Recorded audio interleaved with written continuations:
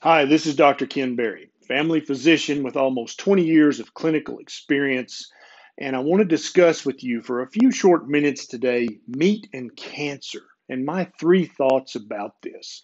You may have seen some more uh, news articles about this in the mainstream lately. And what we really have to talk about here is does meat cause cancer?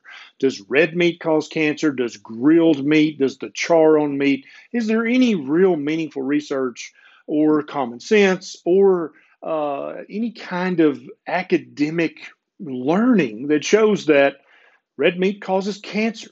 So let's talk about this. So, whether we're talking about grass fed, grass finished panda massage meat, or we're talking about the cheapest hot dogs that you can buy at China Mart, there's someone out there, some expert, who's going to say that'll cause cancer. You shouldn't eat that. That'll increase your risk of heart disease or something like that. And so let's dive into this a little bit and discuss this because I want you to be confident eating the proper human diet. I don't want you to be nervous or worried about this.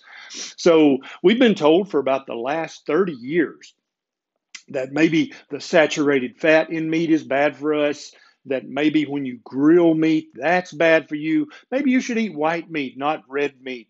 All of these things are based on things that we're going to talk about down below.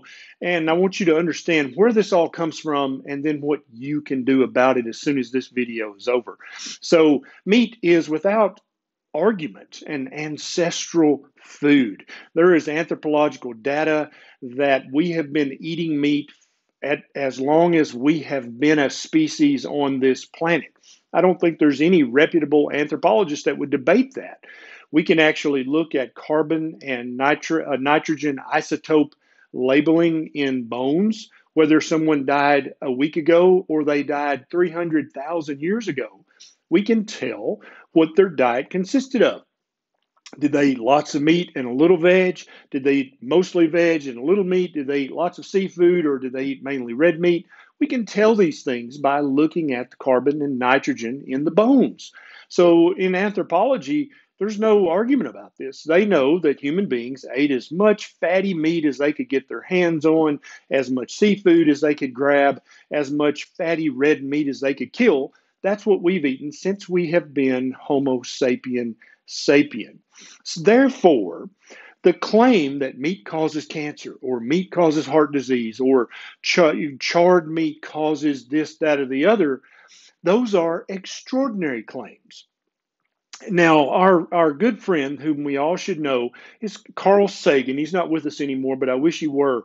He said, if you come at me with, and I'll, I'll paraphrase, if you come at me with an extraordinary claim, then you better have extraordinary evidence to back up that claim. And I think that applies not just to astronomy or to life on other planets. I think that that applies to all science. If you make an extraordinary claim, you better have some damn good data to back that up. And so I consider that red meat or meat in any way could be in any way bad for human beings to be an extraordinary claim. So you better have good evidence. And so, where does the majority of this evidence come from? The World Health Organization, the Harvard School of Public Health, they've been telling us now for 20 or 30 years that, that fatty meat's bad for us, that red meat's bad for us, that charred meat's bad for us. Some have even went so far as to say that, that eating meat is as bad as smoking cigarettes for your health. So, where did, what, what extraordinary data do they have to back up this extraordinary claim? all of the data that they uh, purport to show a causation or maybe even a correlation between eating meat and some sort of health problem is observational data that uh, they that is done over many years. They will have the participants of these studies fill out food frequency questionnaires that ask questions like, "How many cups of ribs have you eaten in the last month?" I don't know how to answer that question, and probably the, the participants in these studies didn't know how, how to answer that question either. So they guessed, just like any of us would guess. And then also, the, none of these research studies were blinded. So if the researchers had a bias, that bias would slip into their results. And that doesn't mean that they're evil, that just means they're human. This is human nature. That's why humans came up with the scientific method to protect the data and to protect the results from researcher bias. That wasn't done in any of these studies. And so, actually, the studies that the World Health Organization and the Harvard School of Public Health and other health experts use to try to scare us about eating meat are the weakest form of evidence you can act, actually come up with. They are, it's the weakest form of research, the weakest form of science you can actually have. And so recently, the American College of Physicians came out with a series of four uh, studies, four review articles that basically destroy the arguments that there is credible research that meat is bad for you. And so they basically go back and look at all these studies, these observational studies done with food frequency questionnaires, and they reach the conclusion, which I think is a very logical conclusion, that there is no extraordinary evidence there. That these are, eh, they, eh, and to quote them, either poor or very poor um, recommendations can be made from these. So basically, flipping a coin would be better than listening to the World Health Organization about whether meat is bad for you or not. So let's go through my three thoughts about this. And I think they'll help you understand this and really never be tricked or fooled by this silly kind of research again. First of all, the anthropology. This and this is eh, if you if you like the way I do this, this is how I do every video on this channel. So you might want to consider clicking the subscribe button because this is how I think about medical and nutritional topics. First of all, what does our ancestry, our the anthropology? Let's go back and look at that.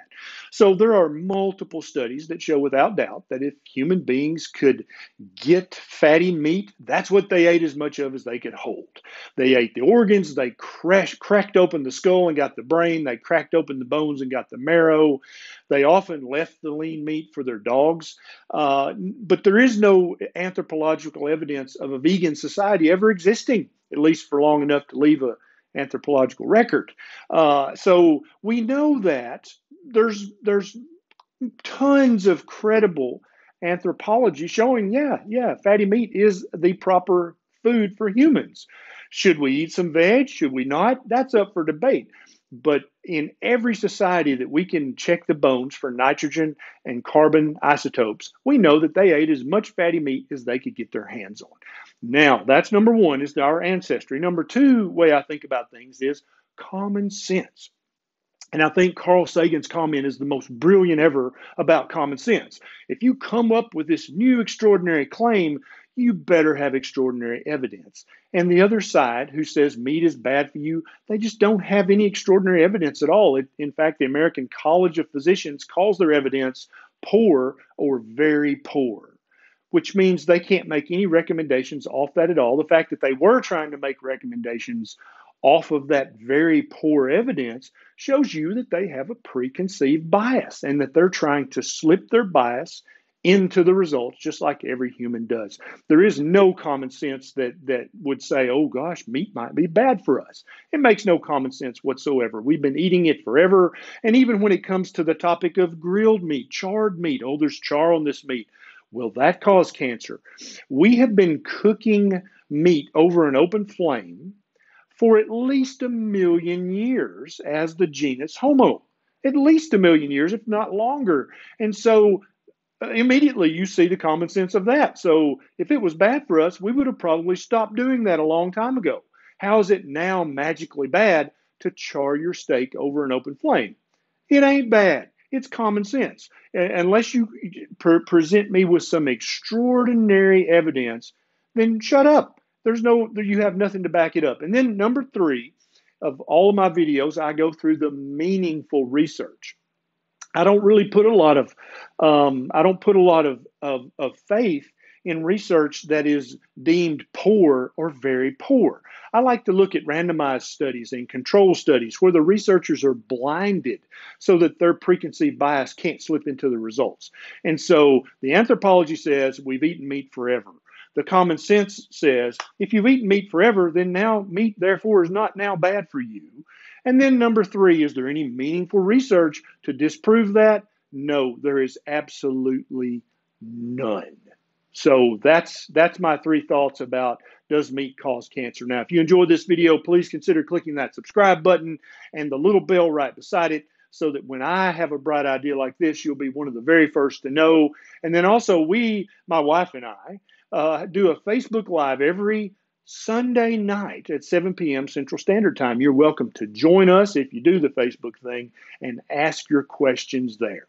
This is Dr. Berry. I'll see you next time.